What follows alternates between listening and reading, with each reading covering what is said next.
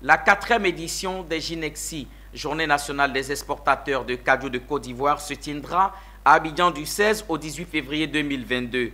Ce symposium, qui sera organisé conjointement avec la septième édition de la conférence mondiale du Kajou, verra la participation de plus de 2000 personnes et 25 experts afin de débattre des problématiques liées à la filière anacarde. L'annonce a été faite ce jeudi au cours d'un point de presse par le bureau exécutif de l'Association des exportateurs de cajou de Côte d'Ivoire. Le reportage est signé Konena Nourgo et Marius Seri.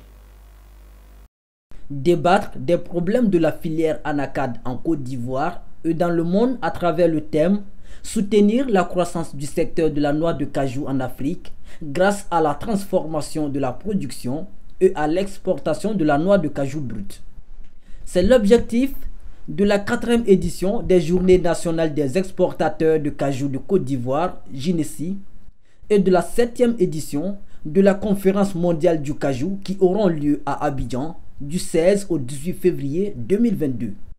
Elles sont organisées par la World Cashew Conference et l'Association des exportateurs de cajou de Côte d'Ivoire, AEC.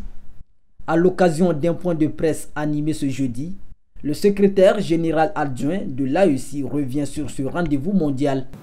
Le bureau exécutif de l'Association des exportateurs de cajou de Côte d'Ivoire, ASCC, en collaboration avec la WCC, World Cashew Convention, a décidé d'honorer notre pays pour la seconde fois en organisant la septième édition de la conférence mondiale du cajou conjointement avec la quatrième édition des Journées nationales des exportateurs de cajou de Côte d'Ivoire, Ginexi, prévu pour se tenir du 16 au 18 février 2022 au Radisson Blue Hotel.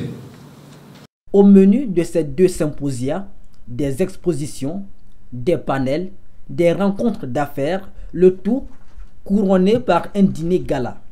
Un volet social est également prévu. Ces deux événements jumelés vont réunir plus de 2000 exposants, 50 entreprises et environ 25 experts du domaine. Pour ce symposium international organisé pour débattre des problématiques de la filière anacarde en Côte d'Ivoire et dans le monde, le thème central retenu pour les journées scientifiques d'échange, de reconnaissance du mérite et de plateforme de mise en relation est soutenir la croissance du secteur de la noix de cajou en Afrique grâce à la transformation de la production et à l'exportation de la noix de cajou.